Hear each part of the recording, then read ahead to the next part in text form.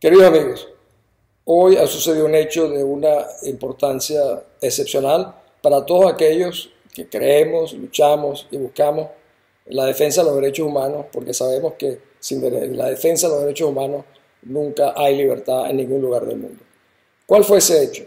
El Tribunal Penal Internacional para la antigua Yugoslavia y Ruanda, eh, tribunal creado eh, mientras Venezuela en la época democrática me tocó auspiciar la creación de ese tribunal, que buscaba eh, sancionar, por una parte, y, tratar de impedir la continuación de la guerra, y por otra, sancionar a todos los que resultaran culpables de crímenes de guerra.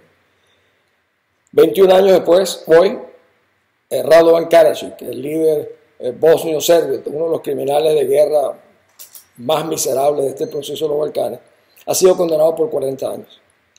En el año 93, justamente hace 21 años, eh, me correspondió presidir la primera misión del Consejo de Seguridad con otros embajadores a, un teatro de operaciones de guerra, justamente en los Balcanes.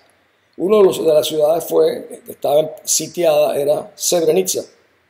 En esa oportunidad que yo viajaba acompañado también con una docena de periodistas internacionales, eh, yo advertí y declaré a la comunidad internacional, salió en todos los medios, que un genocidio en cámara lenta se estaba produciendo en Srebrenica cometido por los serbios contra la población bosnio-musulmana.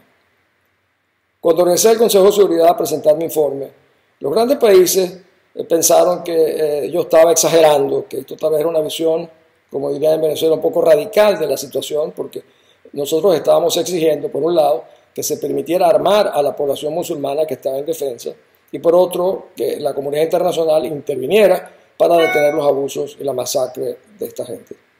Pues un año y medio después de esta, misión se produjo. Ya el genocidio no fue en cámara lenta, sino que masacraron y ejecutaron a 8.000 jóvenes y hombres en poco menos de 48 horas. ¿Y quién fue el responsable? Radovan Karadzic y el general Mladic y Slobodan Milosevic, el expresidente de Serbia. Me correspondió 10 años después eh, ser eh, testigo de la fiscalía contra todos estos criminales. Justamente eh, para mí, en lo personal, pero sobre todo como venezolano, es una gran satisfacción saber que el legado de nuestro país en la Venezuela democrática lo preservamos.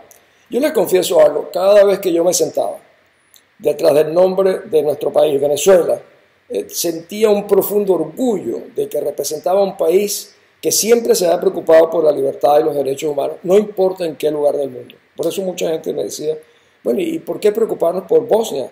Nosotros somos católicos, no musulmanes. Yo le decía, los derechos humanos, primero no tienen fronteras, no tienen colores, son eh, daltónicos ante ese tipo de problemas.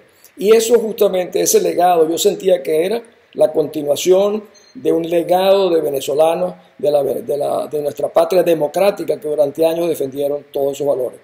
Esta sentencia de hoy, cerrada bancada, eh, a 40 años de cárcel, eh, por supuesto morirá en prisión por crímenes de guerra. Ahí violaron más de 20.000 mujeres, murieron 200.000 personas, desarraigaron de sus hogares a más de un millón de personas antes de que la comunidad internacional dejara de vivir en, negación de una realidad que evidentemente era conocida por todas. Simplemente no querían asumir la responsabilidad por la vida y la defensa de un país que no estaba en África, estaba en el centro de Europa, eh, Sarajevo era la ciudad seguramente más ecuménica de Europa. Sin embargo, la comunidad europea, los grandes países decidieron que eh, eh, era, no era un país europeo, sino que de repente descubrieron que era un país musulmán. Esta medida tiene, yo diría, así como da mucha satisfacción a los que como yo y tantos miles de personas en el mundo nos preocupamos por los derechos humanos, tiene, debe tener un motivo de preocupación para jerarcas como los que tenemos en Venezuela, como los padrinos, los cabellos, los maduros, etcétera, que yo siempre les recomiendo que se lean mejor el Estatuto de Roma que creó el Tribunal Penal Internacional en lugar del alma llanera porque lo van a necesitar. Porque esta sentencia de hoy consolida y reafirma el principio internacional de derecho internacional de que los gobernantes son responsables por los abusos que cometan sus fuerzas. En Venezuela eso es muy conocido, de que hay muchos así como me tocó una oportunidad llevar a Chávez a la Haya y se interpuso el Todopoderoso, aquí eh, eh, eh, estos, estos personajes, estos jerarcas que cometen este tipo de delitos ya tienen un llamado a atención de la comunidad internacional. Se ha demorado muchísimo, ha sido lento el proceso, pero al final la justicia internacional llega. Yo también aspiro a que no solo la internacional le llegue a estos jerarcas nuestros, sino también la nacional. Muchísimas gracias.